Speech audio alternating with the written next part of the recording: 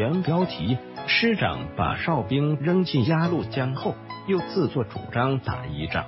战后，生军参谋长本人曾写过一篇文章，说抗美援朝，十二师军五十八师过鸭绿江，边境哨兵要求出示出境证，五十八师没有，结果师长黄朝天带头闯关，两个哨兵要他抓起来，他脾气一上，下令手下把两个哨兵扔进了浅浅的鸭绿江，然后率领大军浩浩荡荡的走出了国门。读者对这件事评论很多，却忽略了黄朝天师长这个人。又一为黄朝天，又二罗荣桓。黄朝天是啥来历？咋脾气这么大？黄朝天是江西兴国县人，一九二九年参加红军，当过陈毅的警卫员。他原名黄朝田。陈毅说：“你这名字不好，钱是什么？有钱的女子插在发髻上的东西。”是金银珠宝做的，这的主家的东西，咱穷人有什么用处？你为什么要朝他？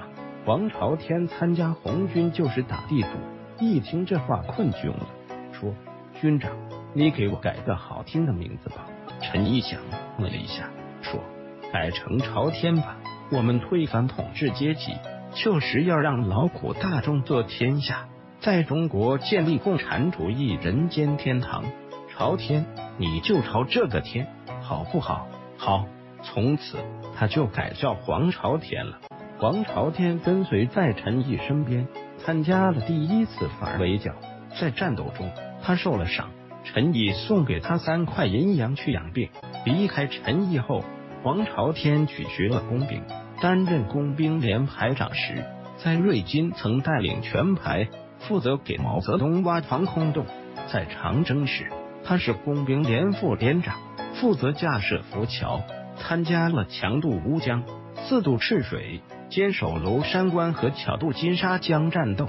一九三五年五月，在会理时还又负过一伤，在翻夹金山前，部队要把他寄养到老百姓家里，他死活不干，最后骑着团政委宋任穷的马行军，在夹金山半山腰上，一阵狂风刮来。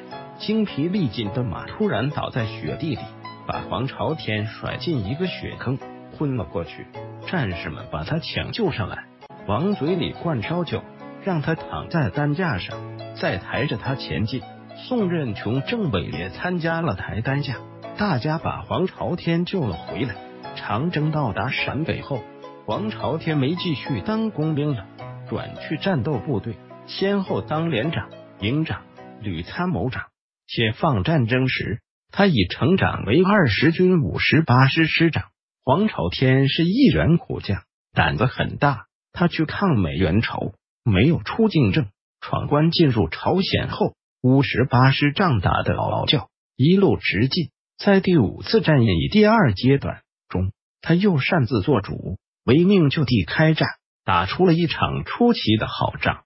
当时二十军担任突破朝阳江。穿插五马市的主要任务结束战役后，黄朝天奉命率五十八师转移。这时，美军集结了主力，对东线志愿军以特遣队发起了闪电进攻。五月二十七日清晨，五十八师师指挥所到达下鲁谷，安在山坡上作战科长黄明秋跑过来报告：“师长，一百七十三团报告，二营那边发生情况。”已经和敌人先头部队进行接触。黄朝天问是南朝鲜军还是美军，还没有查清。黄明秋说：“这个情况值得研究一下。”黄朝天说：“有人说研究什么？我们奉命休整，明天就到指定地点了。”另一人说：“不阻击不行，白天怎么转移？”还有人说：“有什么了不起？虚晃一枪，转身就走。”反正前面没有大江大河。这时，一百七十三团驻地传来轰轰隆隆声响。黄朝天从地图上抬起头，谛听了一下，大声说：“不对头，是密集炮火，要出轨。”政委朱启祥立即向一百七十三团打电话询问情况，一次、两次都呼叫不应，急得额头上起出汗珠，着急的说：“师长，一百七十三团那边可能是美军进攻。有个参谋提出了疑问：我们后面还有六十师和二十七军，还有人民军，敌人怎么会跟在我们后面呢？朱启祥严肃的说：“敌人有空中优势，有远射程炮，有空降部队，有摩托化部队，有坦克，有装甲车，意外情况是可能的。我们后面有兄弟部队。”有医院，有物资，情况不妙。如果敌人切断了北汉江，他们怎么过来？北汉江上的华川大桥和上大利里浮桥一定要控制在我们手里。黄朝千问通信科长王光，军部兵团部联系上没有？王光说，都在行军途中，没法架设电话，电台联系不上。是参谋长朱伯明说，我同意朱政委的判断。等不及上级的命令了，师长做决断吧。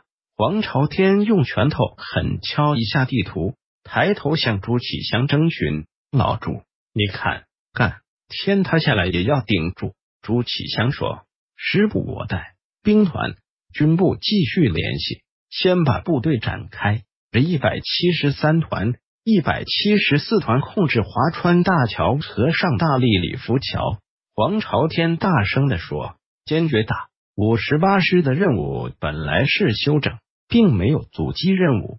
黄朝天在没有上级命令、没有攻势、没有炮火支援、没有友邻部队协同作战的情况下，违抗了转移后撤的命令，主动决定全师从行进转为阻击，立即取得了战略主动权。